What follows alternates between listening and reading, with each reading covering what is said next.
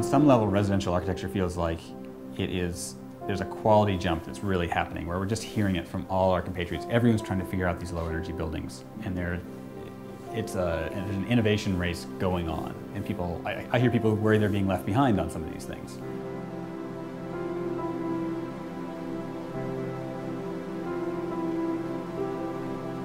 There's so much more contemporary design visible in the media uh, and you turn on TV, every car ad has a modern house in it. So we're seeing some shift. Um, it, we're still New England, and people people often want a very contemporary interior and an exterior that blends into the neighborhood, that is reminiscent of some of the houses around them.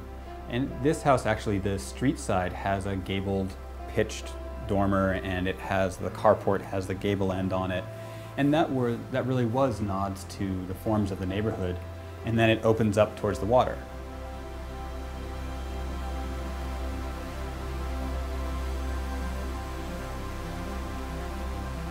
We actually had plans for a different house on this lot that was much more traditional to the area. Uh, it was a 3,000 square foot, you know, uh, less contemporary building.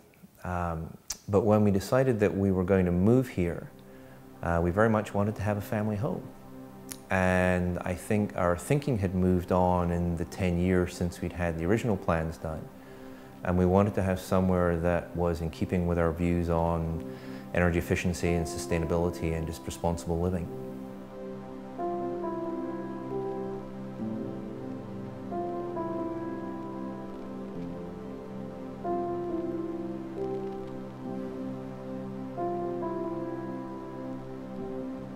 It's not just the dollars and cents that you spend on your heating bill in January.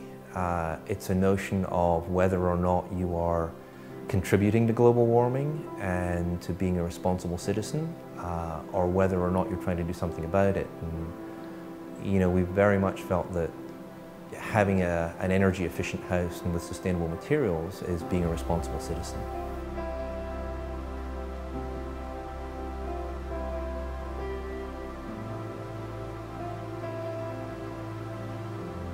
All these energy efficient techniques that we see in the magazines are all very possible. So this house took a builder, a great custom home builder. I mean, Monahan Woodworks builds gorgeous homes day in and day out. Uh, they met a performance goal that very few people have met. And they did it the first time they tried. So this is not rocket science.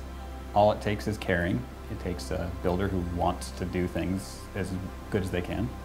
Uh, so I think that's the lesson is that is that we can do all these techniques.